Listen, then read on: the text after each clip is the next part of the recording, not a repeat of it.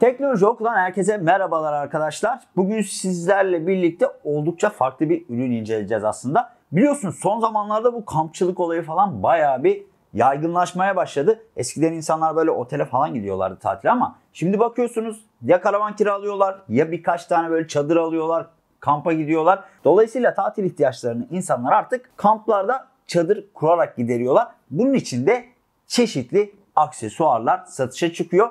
Biliyorsunuz Decathlon gibi spor mağazaları var. Bu spor mağazalarına gittiğinizde zaten pek çok kampçılık malzemesi görebilirsiniz. Ama bir de bu tarz yerlerde göremeyeceğiniz ve kampçıların çok hoşuna gidecek cihazlar var ki Anker tarafından geliştirilen Nebula Kapsül 2 de bunlardan biri arkadaşlar. Bu cihaz ne? Bu cihaz aslında bir projeksiyon arkadaşlar. Uzaktan gördüğünüzde sanki bir hani ses bombası, bir Bluetooth hoparlör gibi algılayabilirsiniz ama aslında bu bir projeksiyon ve bu projeksiyonun en önemli artısı içerisinde bir bataryasının olması arkadaşlar. Bu ne demek? Siz bunu şarj ettiğinizde dilediğiniz yerde götürüp izleyebiliyorsunuz. Tabii ki bunun belli bir süresi var. Bunlardan biraz sonra zaten bahsedeceğiz. Şimdi arkadaşlar incelememize ilk olarak cihazımızın tasarımıyla başlayalım. Az önce de söylediğim üzere cihazın tasarımı uzaktan baktığımızda bir Bluetooth hoparlörü andırıyor ki zaten bunu Bluetooth hoparlör olarak da kullanabiliyorsunuz. Bunu dipnot olarak sizlere belirtmiş olayım. Bu cihaz arkadaşlar şu ön tarafta bir adet gözü var. Bu göz sayesinde görüntüyü duvara, perdeye ya da istediğiniz yere yansıtabiliyorsunuz. Hemen üst kısmında dokunmatik tuşlar bulunuyor. Bu dokunmatik tuşlar sayesinde yansıttığınız görüntü üzerinde çeşitli oynamalar vesaire gerçekleştirebiliyorsunuz arkadaşlar. Arka kısımda iki tane tuşumuz var. Bunlardan birisi aç kapa tuşu, birisi mod değişim tuşu. Alt kısımda ise AUX, HDMI, USB ve tip C girişlerimiz bulunuyor. Bu tip C girişi aynı zamanda şarj girişi olarak kullanılıyor arkadaşlar. Yani tip C'den bu cihazı ne yapabiliyorsunuz? Şarj edebiliyorsunuz. USB kısmından buraya bir bellek takarak ne yapabiliyorsunuz? O belleğin içindeki görüntüleri vesaire oynatabiliyorsunuz. Ve son olarak HDMI çıkışından da başka bir cihazdan ne yapabiliyorsunuz arkadaşlar? Bu cihaza görüntü aktarabiliyorsunuz. Peki bunlara gerek var mı? Yani USB kullanmaya ya da ne bileyim başka bir cihazdan bu cihaza görüntü aktarmaya gerek var mı? Eğer internetiniz yoksa tamam olabilir. Ama internetiniz varsa gerek yok arkadaşlar. Ne demek bu? Bu cihaz arkadaşlar sadece bir projeksiyon değil. Bunun içerisinde bir Android işletim sistemi var ve bu cihazı internete bağlayarak YouTube'dan olsun, Netflix'ten olsun, Disney Plus'tan olsun istediğiniz, dilediğiniz yayını ne yapabiliyorsunuz? İzleyebiliyorsunuz. Bu gerçekten güzel bir özellik. Cihazın kurulumu son derece kolay arkadaşlar. Cihazı kurarken zaten cihaz sizi yönlendiriyor. İşte telefonundan şu uygulamayı indir, şunu gir, bu kodu yaz, şu kodu eşleştir diye ve direkt olarak cihazı kurmuş oluyorsunuz. Hesabınızı açtığında da direkt olarak Google hesabınız üzerinden eşleştirmeleri cihaz kendisi gerçekleştiriyor. Daha sonrasında dilediğiniz uygulamaları indirerek işte Netflix olsun, Disney Plus olsun, Exxon olsun, Blue TV olsun yani dilediğiniz uygulamayı indirerek bu cihaz üzerinden hemen izlemeye başlayabiliyorsunuz. Burada telefonunuzu aktarmaya, işte bilgisayardan görüntü almaya, USB bellek takmaya vesaire gerek yok arkadaşlar.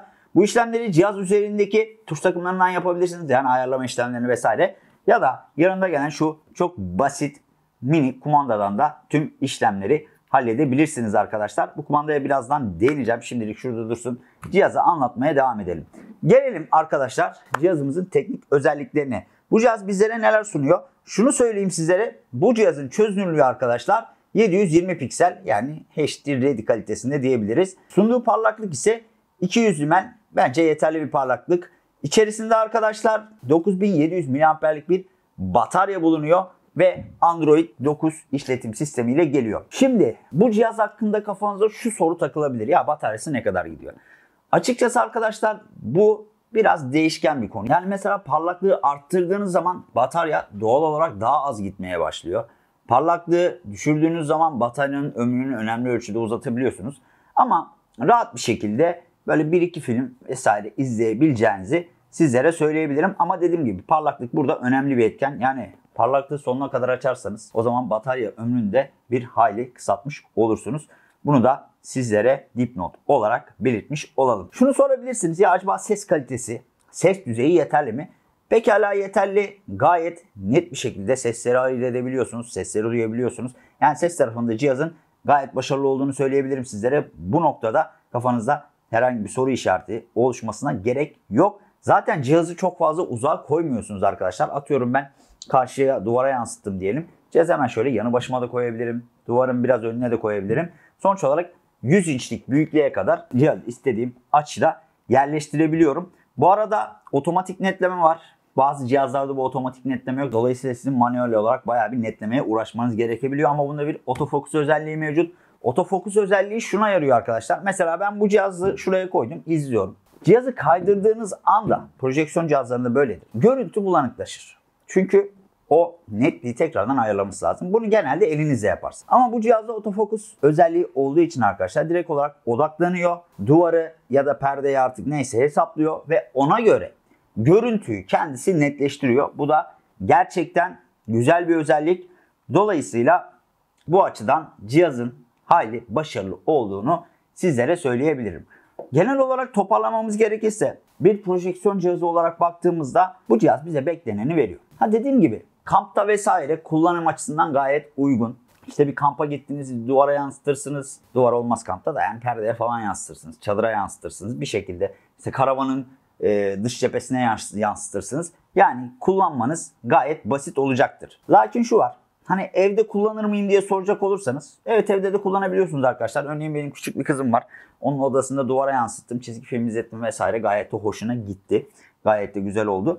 Ee, ama hani evde çok yoğun kullanır mıyız? Açıkçası ev için istiyorsanız böyle bir şeyi çok yoğun kullanmayacağınızı size söyleyebilirim. Yani hani televizyonun yerini tutuyor mu? Tabii ki tutmuyor arkadaşlar. Yani projeksiyonla televizyon bir kere aynı kategoride değil. Bunu belirtmek lazım. Ee, bir de dediğim gibi 720p'lik bir çözünürlük söz konusu. Televizyonlar artık 4K çözünürlükleri destekliyor. Dolayısıyla o görüntü anlamında size istenileni veremeyebilir. Bir de şu var. Atıyorum gün ışığında, gündüz saatlerinde bu cihazı izlemek çok böyle mantıklı olmayacaktır. Çünkü biliyorsunuz bu sonuçta bir ışık yansıtıyor. Bir ışık demeti yansıtarak çalışıyor. Bu açıdan baktığımız zaman hani aydınlık bir ortamda bu cihazı izlemek çok fazla keyif vermeyecektir. Bunu gözetmeniz gerekiyor. Ha ben kamp için düşünüyorum diyorsanız gerçekten güzel bir cihaz. Yani kampa gittiniz, çadır kurdunuz vesaire. Gece canınız sıkılmasın, akşam canınız sıkılmasın diye bir, bir film izleyelim vesaire dediniz. Gerçekten güzel bir aktivite olabilir. Aynı zamanda hani evinizde ne bileyim yatak odanıza vesaire almak isteyebilirsiniz. Yatağınızın şöyle yanı başına koyup karşı duvara yansıtıp pekala izleyebilirsiniz. Az önce de dediğim gibi hani çocuğunuzun odasına koyup akşamları vesaire bir çizgi film izletebilirsiniz. Bu şekilde cihazın kullanımı gayet uygun arkadaşlar. Tabii ki bu da bir de fiyat ekseni var. Şu anda bu cihazın fiyatı 12 bin Türk lirası falan. İnternette çeşitli fiyat sekmeleri var. Yani 14 bine satan da var, 12 bine satan da var. Benim gördüğüm genel ortalama fiyat 12 bin Türk lirası civarındaydı. Şimdi 12 bin Türk lirası verip hep kullanmayacağımız bir cihazı almak biraz lüks olabilir. İhtiyacınız varsa kullanım açısından gayet verimli. Yani başarılı. Ben beğendim cihazı gerçekten. Optik sabitlemesi olsun vesaire gayet başarılı arkadaşlar. Beklentilerinizi karşılıyor. Ses olarak falan da gayet e, size istediğiniz deneyimi sunuyor. Lakin fiyat tarafında dediğim gibi 12 bin Türk lirası vermek hani hep kullanmayacağımız bir cihaza ne kadar mantıklı bilmiyorum. Ama kamp yapmayı çok seviyorsunuzdur. Atıyorum ya ben bütün yaz tatilimi hep kamplarda geçirdim diyorsanız bir karavanım var. Karavanımda geçiriyorum. İşte karavanımla sağa sola gezip duruyorum diyorsanız o zaman bu cihazı da pekala satın alabilirsiniz. Zaten çok az yer kaplıyor. Gayet de güzel ve hoş bir cihaz diyebiliriz. Bu arada kumandadan bahsedecektik. Onu da unutmadan hemen geçelim kumandaya. Kumandamız arkadaşlar iki tane kalem ile çalışıyor. Şöyle göstereyim sizlere. Kumanda olmadan da bu arada cihazı üstündeki tuşlardan vesaire kontrol edebiliyorsunuz. O çok büyük bir problem değil. Ama tabii kumandayla ayarlamaları vesaire daha basit olabiliyor. Kumandamızda Google tuşu var. Şuna basarak mesela Google tuşuna basarak işte Netflix'i aç, Netflix'ten şu diziyi aç vesaire dediğinizde direkt olarak açıyor. Bu gayet güzel. Ee, onun haricinde e, kumanda üzerinden çeşitli fonksiyonları yönetebiliyorsunuz. Yani yayınlar arası geçiş vesaire yapabiliyorsunuz. Kumandanın kullanımı da son derece basit diyebilirim. Yalnız boyutu biraz büyük. Hani biraz daha küçük yapsalarmış daha mı iyi olurmuş? Çünkü baktığınız zaman cihaz aynı boyda neredeyse. Dolayısıyla hani biraz daha küçültüp smart bir e, kumanda yapabilirlermiş ama bence boyut biraz büyük olmuş diyebilirim.